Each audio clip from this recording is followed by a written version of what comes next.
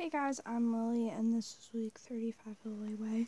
So, um, sadly, this Halloween is canceled because, um, of personal, because everyone's doing their personal things for Halloween. So, um, but, but next week is my birthday party and Halloween.